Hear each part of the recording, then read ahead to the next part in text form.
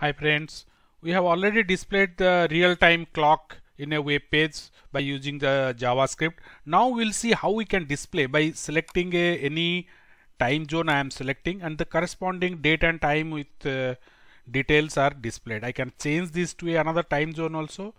Let's say here now you can see the uh, local time of that particular time zone is displayed. We'll see how to code this this is our basic template. Inside this we'll write. So inside the, we'll create a function first so display tj this is display time zone.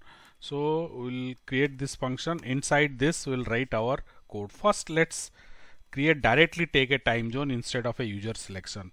You can write any uh, I am just uh, taking one uh, time zone here anything you can take it. One from the several list is very big. So now I am creating a string or str equal to new date dot uh, to local string. To uh, sorry l o local string. This I am creating. Now I am in this this function I will be using. So inside this I am using new nz it's for New Zealand. You can use any English format you want. So then let me just uh, give some options here. Now inside the option the mo most important part is time zone. Time zone I am giving the option as here I am writing TZ TZ is the time zone I have declared the line number 9 here. So that value will come here. So that is there. Now one more is time zone name. There are other list is available. We can see time zone name. Now this I'll give it short you can give long also. Short fine. Now my string is ready. This string I will display it in in my span. Inside my div tag or inside a span I'll use it. So I'll say document get element by id now this is ct or clock. Now I'll say inner HTML inner HTML equal to uh, str the, this is the string here. Now you can see the city is available here. Here this is I have declared. This is span ID of city time zone here. Now once this is there uh, this will be displayed in that. But thing is we need to trigger this uh, this function. So for that we will create a input type equal to button. Value is equal to we'll say so now on click this function will execute. This function is disp so this function will execute on click of the button. So I'm just saving this. So let's go to our browser. See here refresh it. Yeah I have. Now this is displaying the time. Now here by the side of it will display the name of the time zone. That is here we'll do it. So we'll say plus. We'll give a comma here. Now again plus now time zone value is we have already given at tz so we'll use that tz so let's save it go here refresh and so. So this is the time zone but we'll further extend it. And moreover this is every time I click the time is shown. You can see the change in time but we want to make it real time change. Then we'll add the timer now. We'll create the function with the timer so we'll say again function display C. Fine this is what we are being using. So inside that first refresh rate will set it at 1000 it is 1000 milliseconds so it is one second. Now my time. My time is equal to set set time out.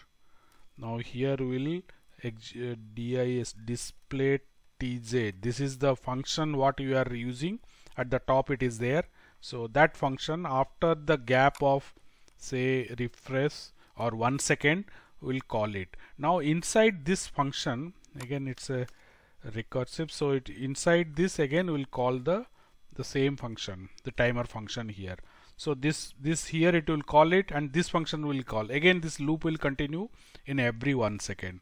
So let me save this and uh, go here. Sorry we'll go to our yeah. Here let's refresh this. So the time zone you can see the clock the second is it is clock is ticking because the timer whatever you have used that is calling it after one second. Now let us from this we'll move. Instead of a click of a button we'll see that we'll give a drop down list and the user has to select it. User has to select the time zone and the respective time zone data or the time will be displayed. From this URL we'll copy the list of time zones. They are kept as a array of uh, JavaScript array also all the name of the time zones are available as elements. We have pasted this uh, array here but we have removed lot of element only three elements we have kept it as sample. You can just add those elements after this. So let me keep this like this much.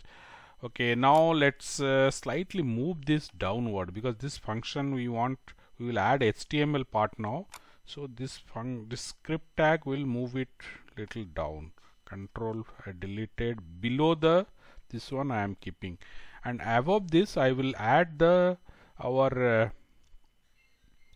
here I will add the drop down list. So for that it is a form name equal to f1 this is the form name. You post method everything you can add it. So now let's close this form. Now select. Select name is time zone on change on change equal to our display this function yeah. So it is there now we'll use this. Now in this uh, we'll close the select button. The options will dynamically create take it from the from our uh, function now. Now this is the select box where, where user will be selecting one of the time zone as a option and on click uh, sorry on change this function will be executed. Now we'll add the options to this. We'll go to our uh, script tag below this. Now here fine. So here what you will do let's first add the uh, we'll create the option to add to that. So we'll create a first a function and give the name as add options now here we'll say select variables what you will will take uh, three attributes. Select box. Now text. This is the and value. So this text and value are the option the drop down box uh, what are the value and the text part what will be displayed in that. So what we will take it is now first we will say where optn of this variable we are taking. So object document create element and inside that we'll say option. Fine. Now this optn dot text equal to whatever we receive here this text will take it here. So and sorry text then value equal to value whatever we receive from here. Now we'll say value s is not there. Now we'll say select box. This is the select box what you are getting. Now dot options dot add. Now so this will add the option. Now this particular function will call it within a for loop. Now what the for loop is it is loop through all the elements of that array where it is given as where to select it. I equal to 0 now i is less than my time zone my time zone's length. Length. So this is the all the elements then i plus plus. Fine. Now let me inside this I will call this uh, add option. So I'll say add sorry it is add option yeah it is matching add option. Now document dot f1 that is a form 1 tz tz is the drop down list box. Whatever we have uh, just now user has to select. So that we are passing it. And the value will be again my time zone my time zones dollar i. Sorry within this array element so i am taking. Now again my time zones again i so this is the text and value both should be same. So that's uh, all. So I am selecting I am passing the within a loop. Now for me there are only three elements. And when you copy it you will have more element on that. Select box. All these are there. Now I'm saving this. Let me go here. It's already there. I'll refresh it it's not showing. Something is wrong here. Let me just see what's the error. Uh, document create element is not a function. Now here ele I missed. Document create element. Create element. Saved it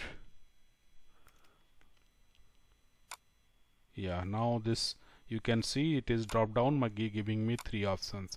Whatever I am selecting I am getting the uh, value of it. Now let me just change it. Sorry I, I did one mistake here. I have not changed the directly I'm not reading the value here. I have you know we have fixed it here. Now instead of that we'll comment this line. We'll go for picking up the what the user has selected. So that is what I will be using now for our uh, as a, as a time zone value. So we'll say f1 sorry f1 dot tj dot options. Now this is bracket is what is the index of the selected index? F1 dot tj dot we are now picking up the what user has selected. Selected index now that's fine. Now this value. So pj option. So whatever option will come that value will be here. Now let me save this. Go here. Refresh this. Now uh, let me select one. Yeah it has come. Now I'll be changing this. Yeah it is changed. So whatever I am uh, this uh, time zone I am selecting the corresponding time it is showing now if you copy all the elements from the side then you will have a bigger list to display